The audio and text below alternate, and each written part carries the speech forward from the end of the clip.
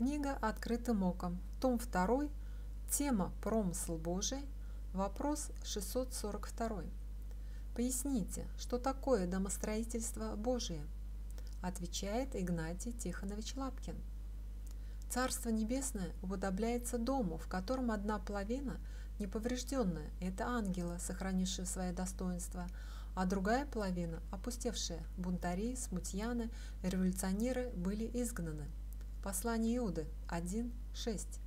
«И ангелов, не сохранивших своего достоинства, но оставивших свое жилище, соблюдает в вечных узах под мраком на суд великого дня». Есть такое мнение, что спасенных из людей будет столько, сколько было сброшено с неба гордых духов. Иоанна 14.2. «В доме отца моего обители много, а если бы не так, я сказал бы вам, я иду приготовить место вам. Откровение 12.8. Но не устояли, и не, наш, не нашлось уже для них места на небе. Далее, как выражается, Бог составляет план создать мир, насадить в нем рай.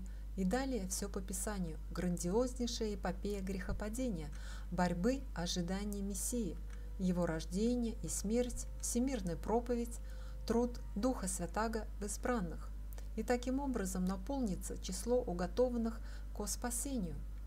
Римлянам 11.25 «Ибо не хочу оставить вас, братья, в неведении о тайне сей, чтобы вы не мечтали о себе, что ожесточение произошло в Израиле отчасти до времени, пока войдет полное число язычников, все, что есть на земле, возникновение царства, религии, изобретений, устремление дьявола к мировому владычеству через масонов, все это Бог знал, предвидел, рассчитал, и все это входит в планы его домостроительства.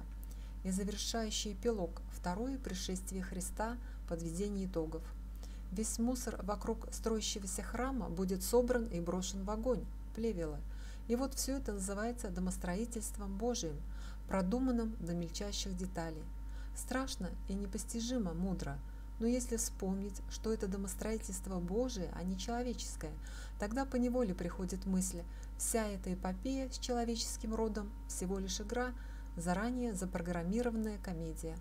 Но все дело в том, что Бог с нами разговаривает на нашем языке, сообразуясь с нашими мыслями. И давать определение замыслам Божьим мы можем только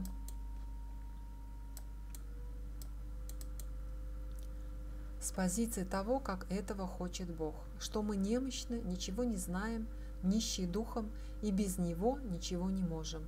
И будет день, когда исполнится совсем уж непонятное. 1 Коринфянам 15.28. Когда же все покорит Ему, тогда и сам Сын покорится покорившему все Ему, да будет Бог все во всем так легко склониться к пониманию Оригена.